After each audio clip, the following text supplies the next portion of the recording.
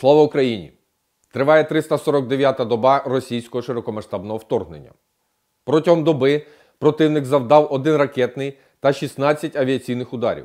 Здійснив 14 обстрілів з реактивних систем залпового вогню, зокрема по цивільних об'єктах Очакова на Миколаївщині та Антонівки Херсонської області. Високою залишається загроза подальших російських авіаційних та ракетних ударів по всій території України. На Волинському, Поліському, Сіверському та Слобожанському напрямках обстановка залишається незмінною. Наступальних угруповань противника не виявлено. Обстрілів зазнали райони населених пунктів Заруцьке, Попівка і Садки Сумської області та Стрілеча, Мороховець, Зелене, Нескучне, Вовчанськ, Бударки, Вільхуватка, Красне, Перше, Новомлинськ і Кам'янка на Харківщині.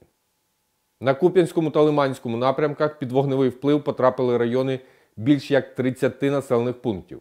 Серед них Дворічна, Гряниківка, Кучерівка, Котлярівка, Крохмальне, Вишневе Харківської області та Новоселівське, Стельмахівка, Новоєгорівка, Макіївка, Площанка, Невське, Піщане, Кремінна, Діброва і Білогорівка на Луганщині. На Бахмутському напрямку обстрілів зазнали, зокрема, Залізнянське, Красна Гора, Бахмут, Іванівське, Миколаївка, Ступочки, Кліщіївка, Курдюмівка, Нью-Йорк та Веселе Донецької області. А загалом понад 15 населених пунктів. На Авдіївському та Новопавлівському напрямках під танкові мінометні та артилерійські обстріли потрапили Авдіївка, Водяне, Нетайлове, Мар'їнка, Новомихайлівка, Богоявленка, Вугледар, Велика Новосілка, Золота Нива та Нескучне Донецької області. На Запорізькому напрямку вогневого ураження зазнали райони понад 20 населених пунктів.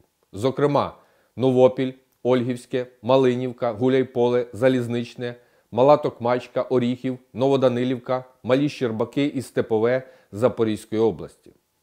На Херсонському напрямку від ворожого вогню постраждали 17 населених пунктів, зокрема Михайлівка, Гаврилівка, Милове, Зміївка, Новобереслав, Козацьке, Іванівка, Микільське, Антонівка та Херсон.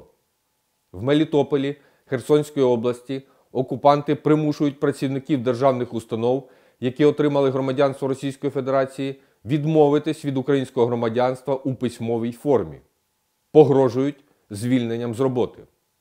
Авіація Сил оборони протягом доби завдала сім ударів по районах зосередження особового складу та військової техніки окупантів та два удари по позиціях зенітно-ракетних комплексів.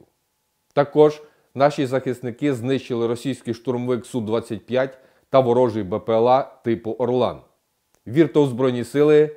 Разом переможемо! Слава Україні!